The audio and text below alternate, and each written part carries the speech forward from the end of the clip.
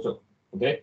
Now, so if you look at the the this bumper beam, okay, if you search on the internet, okay, you sometime will get Usibor. You might even get trip steel.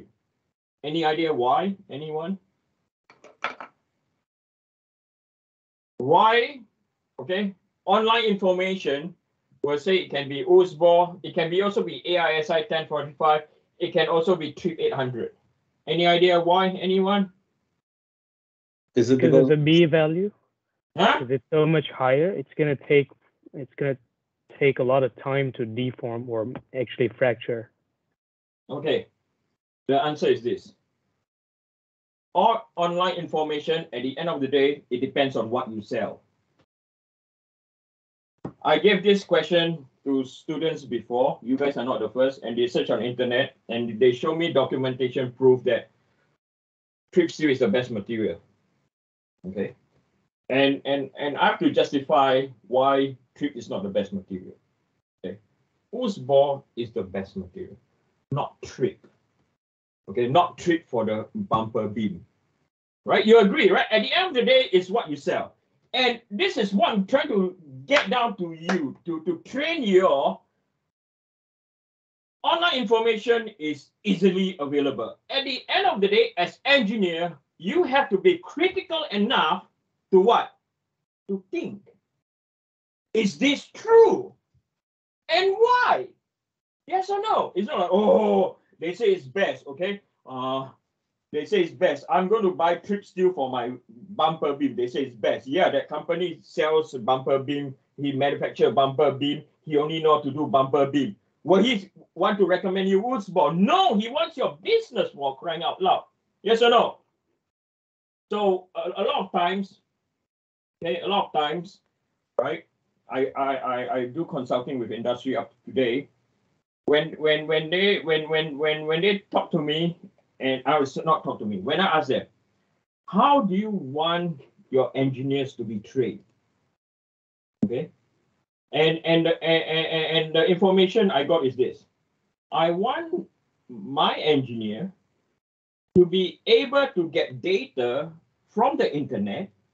It's true, but they have to have to be able to have the critical mind thinking is that information valid or not very important, yeah, ladies and gentlemen. This is this is this is important. The whole lecture is yeah, pardon my French, bullshit, but this is critical. At the end of the day, okay, given this sort of information online, okay, you search on internet, you they will you see what is the best material, okay, and you know the mechanical behavior, right? You will pick the right material, not based on what other people are trying to sell you. okay? Not what other people are trying to sell you, okay? So for the bumper beam, you guys are absolutely right, okay? We have to use Usibor 1500, okay? This is because it has a very high A, which is equal to 10, uh, 1040 MPa and it also has a very high B value, which is equal to 4630 MPa, right? And uh, doing deformation, okay, so as, so we, we are going to use this material, and some of you, I saw someone in the chat say, isn't this uh, material used in the 50s to 80s, okay? Yes, but we can make it shapy now. How? So doing deformation or doing manufacturing, okay, uh, heat will be used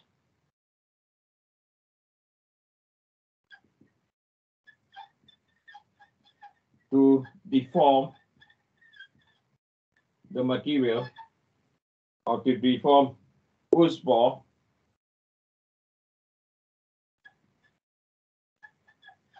into shape. Right? Why you need a heat? Because M is equal to what? Zero point. So after you heat, you quench it, okay, you get your shape. Okay, now let me tell you why this material, okay, why Usibor is the best material and not uh dual or not trip steel or dual phase steel. Okay, let, let me tell you why.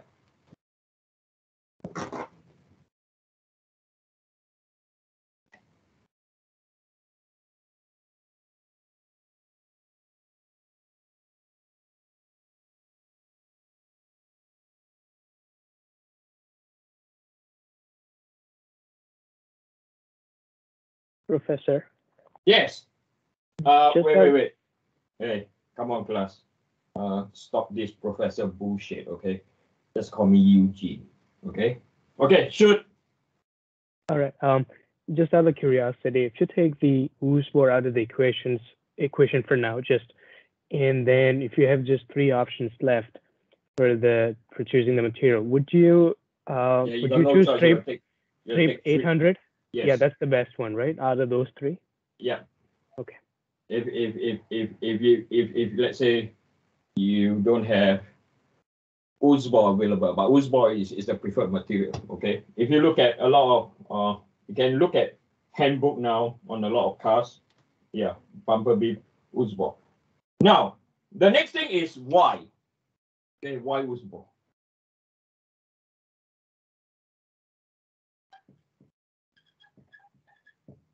Right? Why? So if if I were to plot uh Usibor and trip,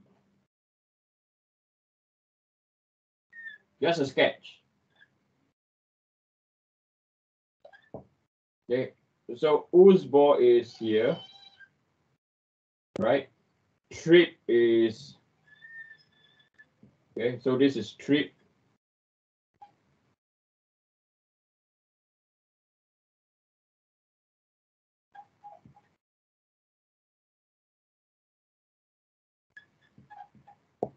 And let's say upon impact, this is your stress value.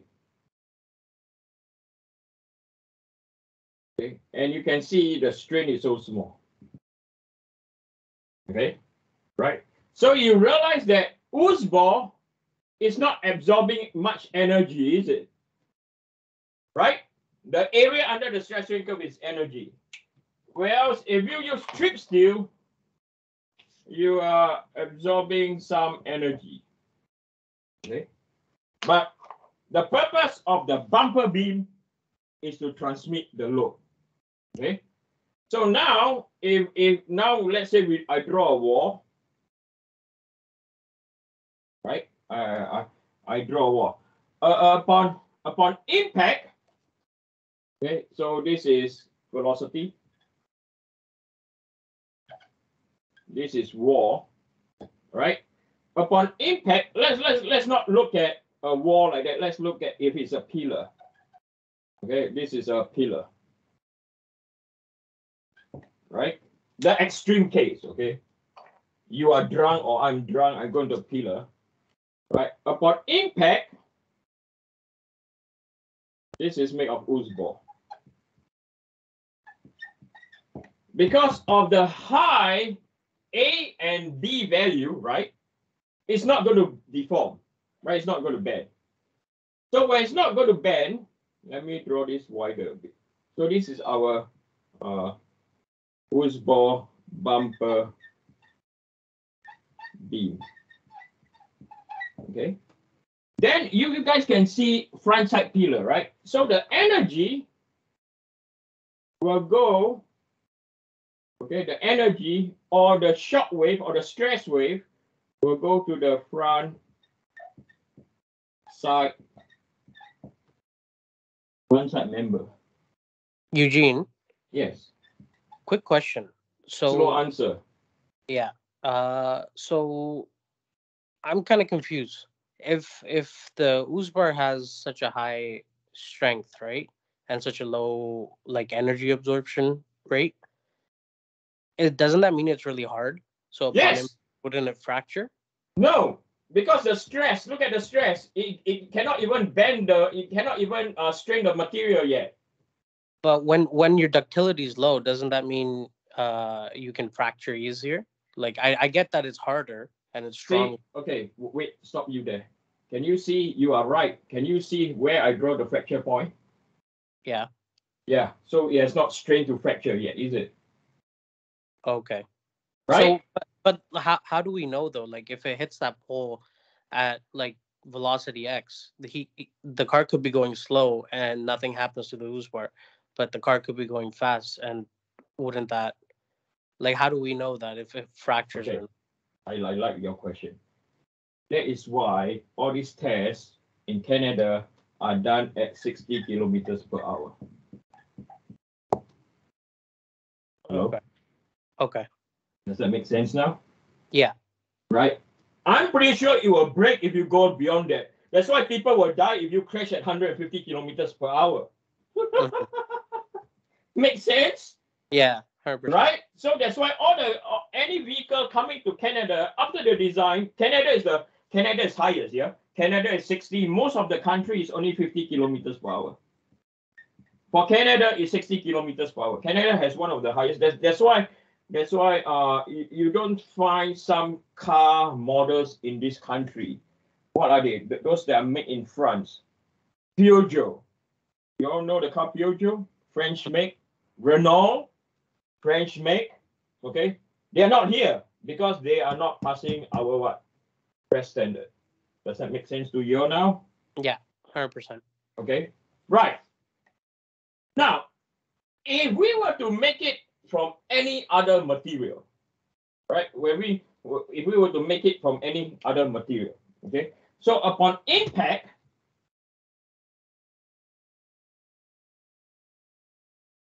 okay, upon so let's say we we we have we have our pillar again, right? So upon impact, right? If let's say we make it from trip steel, for example, you are going to bend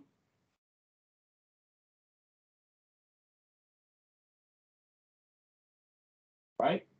You're going to bend this way. And there's a possibility it might fracture. Yes or no? So when it fracture, right? So this is fracture. Okay, so this is still our bumper beam. Right? This is so when you fracture, right? What will happen? The stresses are not transmitted to the front side member. Okay, so it when the bumper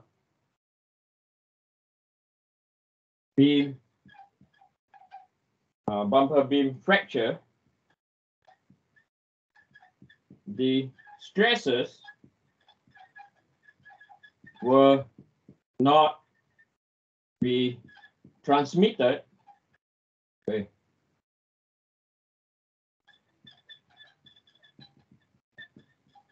to the front side pillar, unfortunately.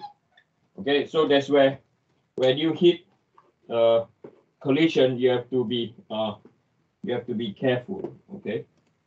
Uh, pardon me, I'm still trying to get students to come in, okay? Okay, so this explained why, okay? So this case, the bumper beam not made from fusible. It's made from other, maybe you, you pick 1045, it's cheap, okay? So now, the front side pillar, next we are going to talk about the, the we are, we are going to talk about the, the front side pillar, okay? Any questions about this? Okay, so over here, you want your, your, this, all, all these arrow are all your stress uh, wave, okay? You want them to propagate into the front side pillar, okay? Or front side member, okay? Right, so the next thing that we're going to look at is then what is the best material for the front side member? Okay. Sorry. So that example that you just drew, that's any material that's not use bar bore. Yeah, the the the the the, the, the number one choice is Usibor. Number two is Trip. Uh, number three, I will not pick any other. Okay. Surface steel is way too soft. It's not meant for this. Okay. Ten forty-five, no one use ten forty-five anymore. Okay, ten forty-five is a benchmark. Ten forty-five is always a reference for